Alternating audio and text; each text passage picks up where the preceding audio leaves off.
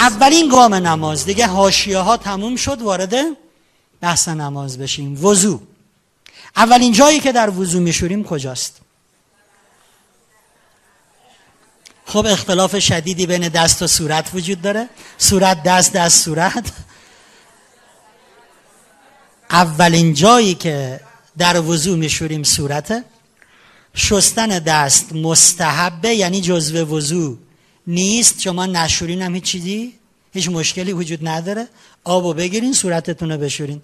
جزو وضو نیست. مستحبه خواستی بشور نخواستی هم نشور. خب میریم سراغ دستامون. در تمام دنیا دست نماد و سمبل یه چیزیه. اگر از مچ به سمت سرانگشتان باشه نماد دوستیه سمبل دوستیه. ولی کل دست در جهان نماد و سمبل قدرت همه دنیا دست رو سمبل قدرت می‌دانند. بعضیا میگن چرا تو وضوع اول دست راست رو بشوریم؟ می‌دونین که هم ما هم مسیحی ها هم یهودی ها معتقدیم که در قیامت نامه عمل آدم خوبا رو به دست راستشون میدن و نامه عمل آدم بدا رو به دست چپشون. تو دعای وضو میگیم وقتی دست راست رو اول میشوری خدایا بندت می‌خواد در قیامت نامه عملش رو با دست راستش این تقدم شستن دست راست به دست چپ. تو دعای وضو میگه که خدایا می‌خوام نامه عملمو به دست راستم بدی. دستی روی سرمون می‌کشیم. سر در تمام دنیا نماد و سمبل تفکر است. دستی روی سرمون می‌کشیم آب دست خیست همونی که پاک می‌کنه بنده من یادت باشه که هر فکری تو زندگیت می‌کنی باید پاک باشد سالم باشد.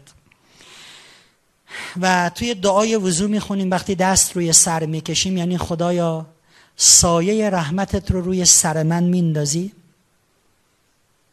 بنده من هر فکری که می‌کنی پاک باشد تا من هم هوای تو رو داشته باشم دوستان من بعد دست رو روی پا می‌کشیم همینی که رو سر کشیدی همینی که رو سر کشیدی رو میکشیش روی پای راستت.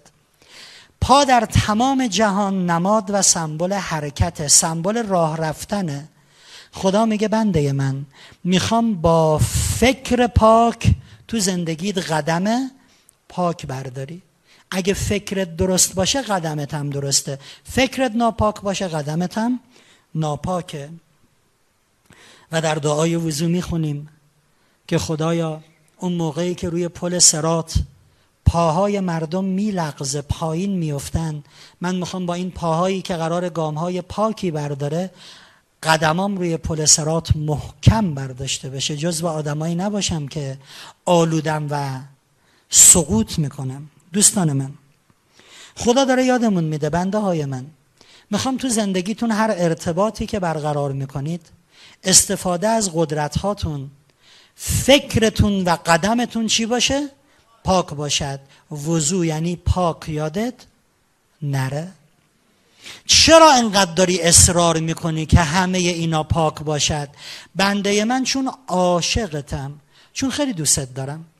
یه توصیه هایی دارم بهت می‌کنم که اگه رعایت کنی اون دنیا صاف ببرمت بهشت. بنده من دوست ندارم بری جهنم. دارم بهت توصیه می‌کنم مراقب اینا باش.